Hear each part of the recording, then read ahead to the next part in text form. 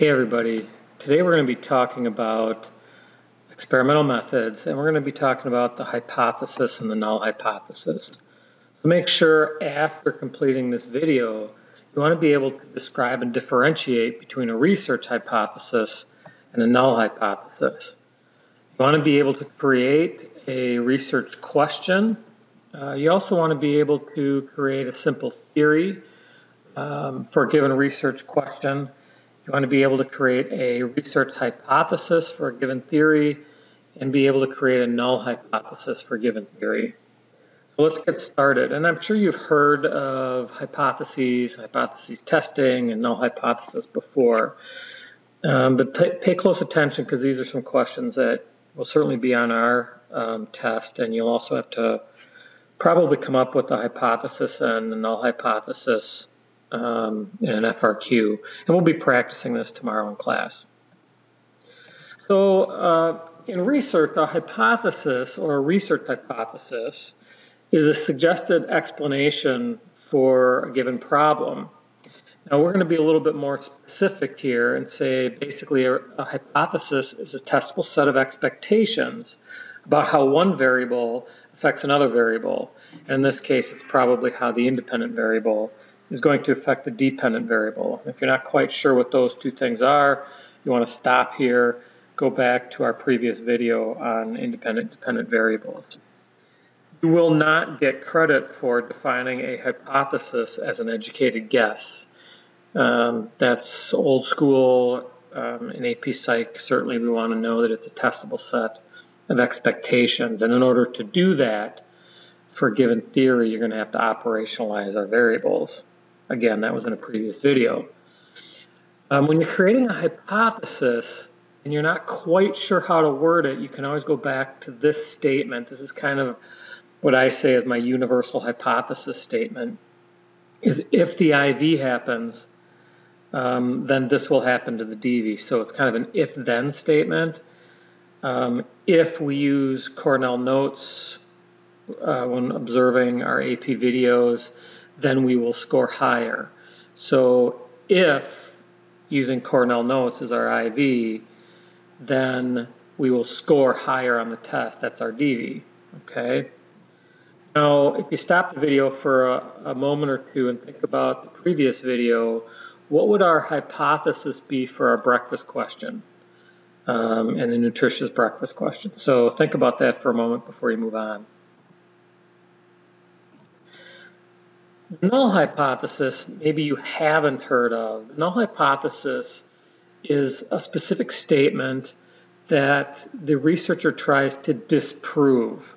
So in a null hypothesis, typically what we normally would expect or what most people expect, or at least what um, we've seen before and it hasn't been disproved. So it's kind of the current view um, of some aspect of how variables um, affect each other. Null hypothesis is always assumed to be valid unless we can reject it or falsify it through our research. Now remember, it's very important that you don't use the terms prove or disprove. We want to replace those terms with support um, or fail to support. So we're not going to disprove anything in psychology. Um, and for our, our question from a previous video on the nutritious breakfast, our null hypothesis would be, you know, eating a nutritious breakfast will not have an effect on attention span during school. And that's generally the um, common sense view. Breakfast doesn't have any effect on how I do in school or how well I do in school. Now, our hypothesis you could have guessed is eating a nutritious breakfast um, will increase our test scores, or if we eat a nutritious breakfast, then we will have a better attention span during school. So basically, the, the research question is um, the one we're trying to support, and the null is the current belief that we're trying to disprove. So you want to be able to stop here. You also want to um, practice identifying the independent dependent variable in the breakfast question.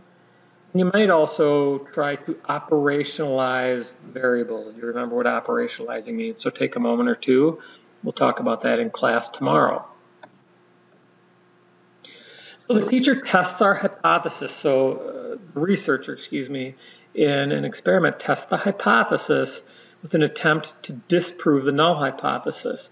And that would mean finding an answer to a specific research question, or at least coming closer to finding the truth about how variables affect each other.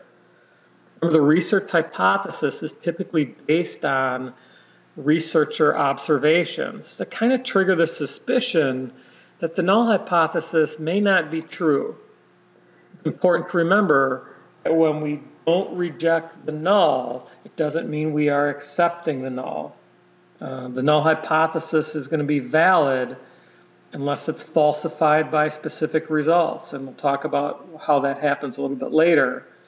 And the experiment can either reject the null hypothesis if we find that the research hypothesis has support, um, or we can fail to reject the null. Now, if we fail to reject the null, we're not saying that it's true, we're just saying that we haven't found a difference yet.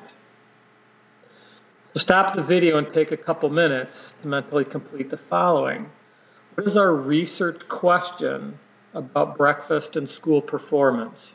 So what would our question, I wonder question, what would our theory be? Remember, it's a general expectation based on observations, so we might have 100 observations, and we combine those observations into one simple statement. It's not yet testable because it's still descriptive and we haven't operationalized it yet. We haven't put it in, into a procedure yet. So a theory is just a, a general statement based on our observations. What would our hypothesis be? We should have already done that. What would our null hypothesis be?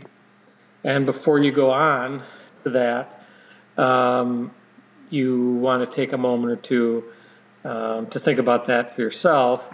I'm going to have to go back here. I skipped ahead. But stop and um, take a look or think about it before you go on here. So here's the answers to our questions. You want to pause that and take a look at that.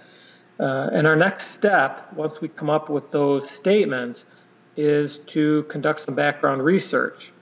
Now, we have we, we have our um, independent dependent variables operationalized.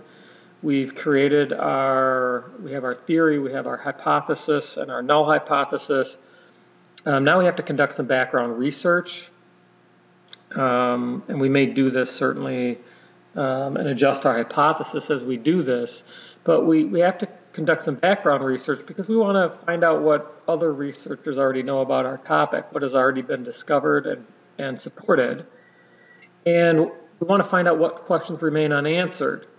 Um, what can we learn about previous research? We can look at um, recent books on our topic. We can look at journal articles, online databases. We can look at websites devoted to our topic to find out these, this information.